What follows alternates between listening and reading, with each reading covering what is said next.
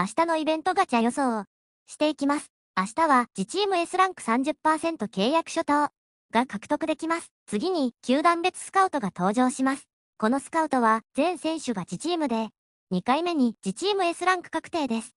次にポジション追加です。キャッチャーが追加するかと思います。最後にイベント予想です。